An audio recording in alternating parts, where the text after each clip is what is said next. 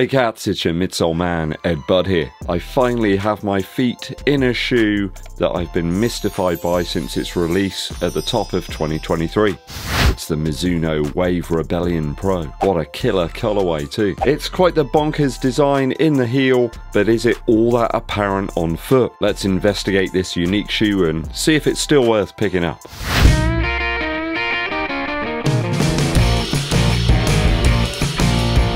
Thanks for tuning in people and supporting the channel. Hit that subscribe button, but also give this video a thumbs up like. Remember that you can become a member too, or give us a super thanks to help support the channel on a more ad hoc basis. Dankeschön. The Wave Rebellion Pro is a shoe that's been sent over to me by Pro Direct Running, but they're not paying me to make this video, nor will they be vetting my views before my valued viewers.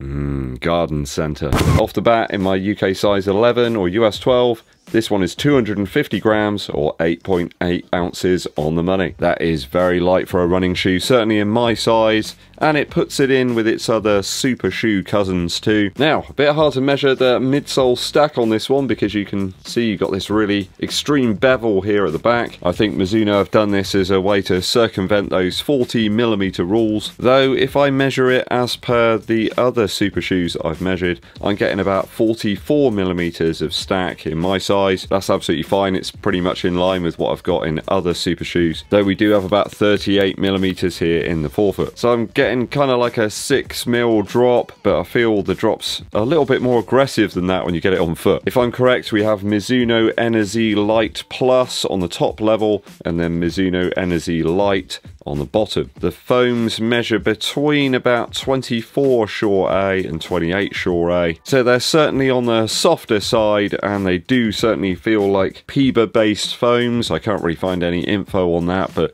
that's what they feel like to me underfoot anyway. I've got about 11.7 centimeters of width here at the widest point in the forefoot and then about 8.3 centimeters of width in the heel. So it is a little bit on the narrower side in the heel, pretty much what you'd expect up front. I found the shoe true to size. It's a touch more on the minimal side on that race side, but that's kind of what you're getting here, isn't it? That's what you want if you're buying this shoe. I don't think there's any real reason to go a half size down or a half size up in this instance. Right, let's get into the main part of the review. We'll start with the upper first.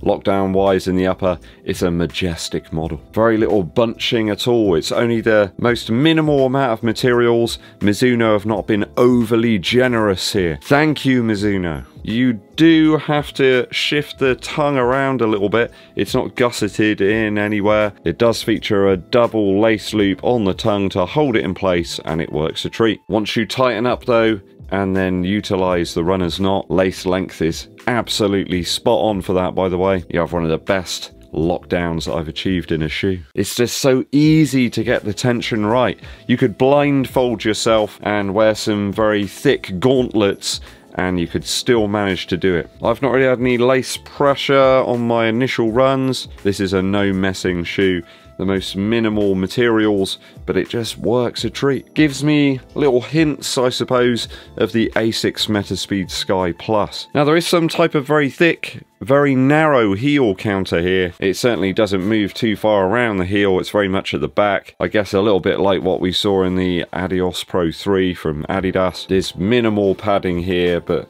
what's there provides the lockdown you need. Toe box is breathable enough here. I've not pumped it full of smoke or put any lights through it or anything like that. But I'll tell you this, people if you run round Penmill Trading Estate in zero degree C temps, there was more than enough air getting in and out there. I bet at 10 degrees C or 20 even, it's probably going to be absolutely fine in terms of breathability, certainly in comparison to other super shoes. There's a whole bunch of holes here across the front and sides to allow the foot some air and I'm finding the width of the toe box here to be pretty much spot on. Enough room to make it comfortable for training and racing too. There's a couple of fabric reinforcements internally within the upper, on their medial and lateral sides just to provide a bit of structure there and help the lockdown further. I have to say I've enjoyed this shoe straight out the box from an upper perspective. I think it looks stunning as well. The shoes are mismatched in terms of the colorway, but I think they complement each other really well.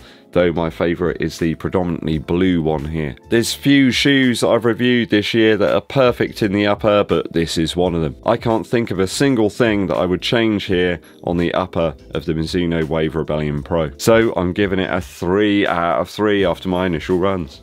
Midsole, midsole, midsole now. Midsole wise, I've got to be honest, I'm a really big fan of this shoe. Any speed, any pace, any session so far. Just doesn't feel odd at all in terms of that bevel at the back. I mean, if you're a really aggressive heel striker, literally coming down like this on your foot, but Nobody does that. Nobody is running with their heel like that aggressively hitting the ground. And it's been proven that some of those top marathon runners are like very, very specific midfoot strikers. Anyway, I think they've done this for a very different reason. It's to help their foam compress, and it's not really all that different from those rocker like shoes, is it? If you very aggressively hit the ground with your heel, I could see you having some issues perhaps. I can see this hitting the spot for 10k through to the half marathon for me. It's probably a little bit too much shoe for a 5k, but I can't see why I couldn't run a full marathon in this one from Mizuno. The midsole, despite the quite significant cutouts, feels stable enough to me, even on bends. I guess if you do overpronate, you could have some issues with this type of design,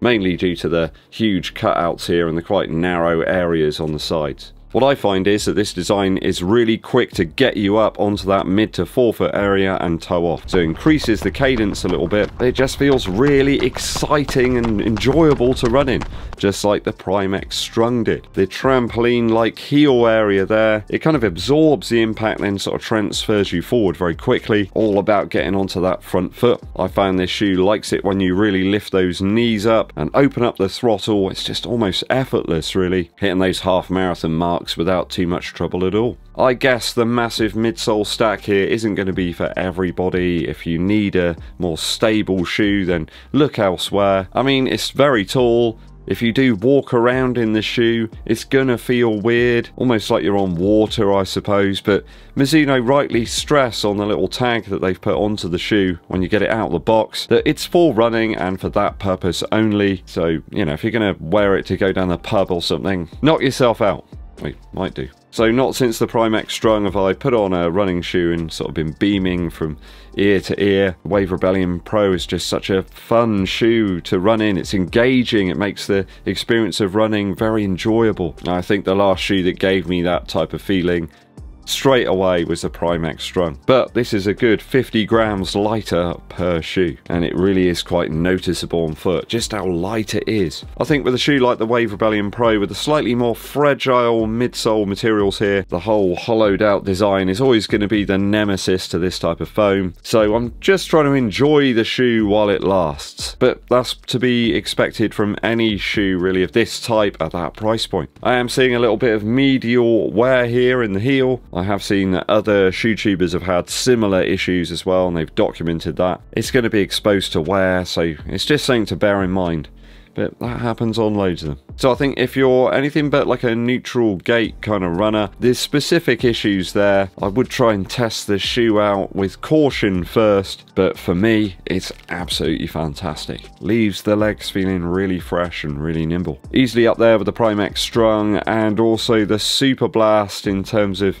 pure fun and enjoyment. Can't wait for the V2, which people have been discussing quite a bit this week. A 2.9 out of 3, lowered only by some very quick wear on the medial side of the heel. The rest of it looks brand new.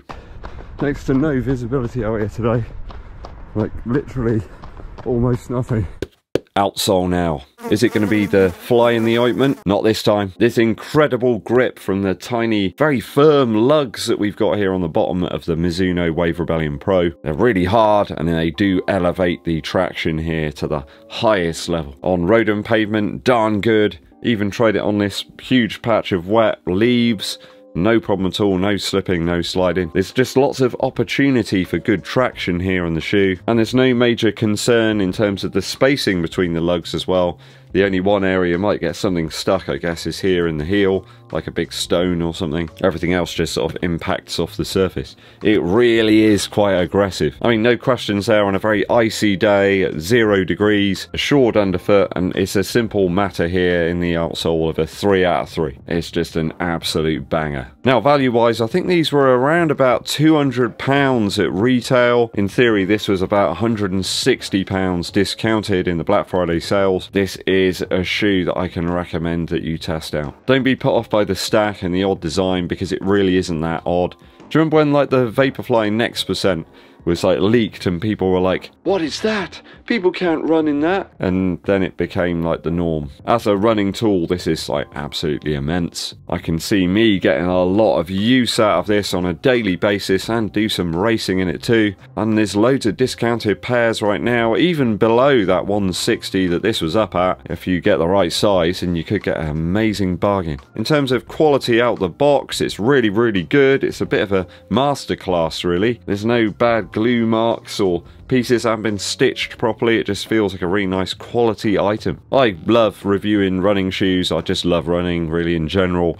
And this is one of those shoes that sort of stokes the fire again, you know? I mean, I'm challenged to try and score it down here in terms of value when some daily shoes are above what this cost. You know, there's very few shoes that shine at pace in very challenging conditions, and this is one of them. I'm going to give it a 2.9 out of 3 for value here. Maybe it won't last forever, but no shoe does, does it? I think if you get 250, 300 miles out of this before it capitulates, well, good stuff, because I think you'll be smiling on every one of those miles. I mean, the Alpha Fly 3 is going to be 285 quid, isn't it? So is it really worth that bonkers price? Well, of course it isn't. Will the arch still be really prominent in that shoe where everybody's saying it's not? I'm very interested to find out. In the meantime, though, I'm going to be enjoying this one because it's a banger. If I've totaled the scores up correctly for the Mizuno Wave Rebellion Pro, after my initial runs, we got 11.8 out of 12.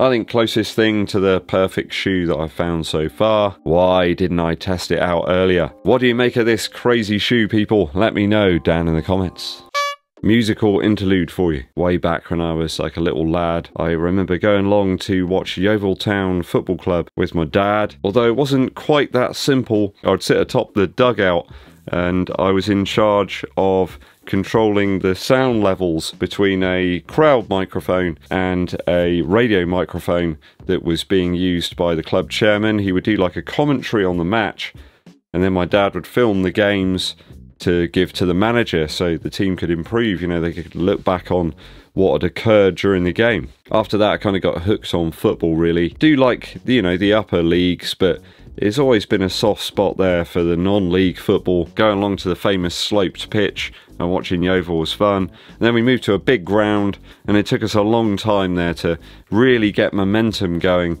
to get into the league itself. There's been ups and downs over the years. We had a fantastic period, what, 20 or so years ago, and then 10 years ago, the start of a real fall from grace, with Yeovil now back in the National League South. Although we are top of the table right now, and today, on the making of this video, we take on Wrexham in the FA Cup.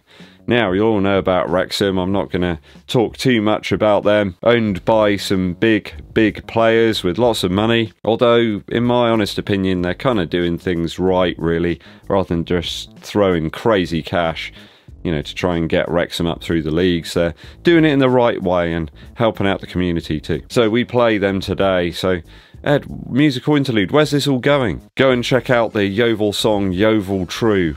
Absolutely fantastic a bit of a satire, I suppose, on the Somerset accent. You know, everybody knows that one, who are, ah, who are, ah, combine harvesters and all that. But it's a great tune, and, you know, it really does inspire when you listen to that track. It documents, you know, the cycle of Yeovil fans. There's a new person born they get sort of indoctrinated into following the club, get married or whatever, and then another new person appears. I got a feeling that my young lad's going to probably be into football at some point. I mean, he is able to also differentiate between, you know, running shoes and Air Jordans, which is kind of cool. He also seems to want a guitar for Christmas now, so you can see where this is all going. Go and check it out, people. It's on some of the streaming services, and uh, I think you'll chuckle away at listening to Yeovil True. Maybe I can listen to it after we beat Wrexham later on in the FA Cup. Thanks for tuning in, people. It's always appreciated. Hit that subscribe button, but also give this video a thumbs up like.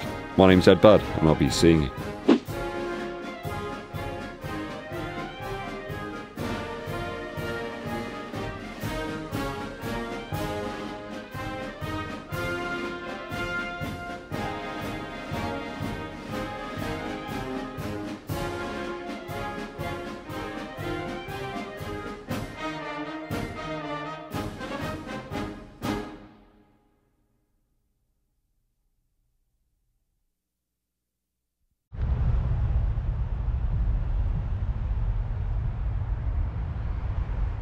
Oh, it feels so good to get back out running again. Whole week where I've just had a really bad head cold. So I went quickly from my chest to my head and I was just bunged up. It just feels so good. Ah, I can breathe again. And, uh, you know, fitness hasn't gone anywhere. It doesn't, you know, you think, oh, if I miss a day of training, you know, everything's going to go downhill. It's going to spiral. It's a load of rubbish, really, isn't it? So fitness feel really good today. So been wearing the Mizuno Wave Rebellion Pro. I have to say this is one of my favorite shoes of the year. Absolutely enjoying it. Everything about it the grip is immense.